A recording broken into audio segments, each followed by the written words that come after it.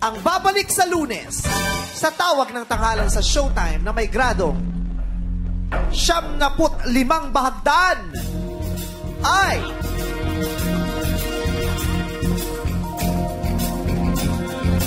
ang dating kampiyon, John Mark Saka mula sa Luzon. Congratulations!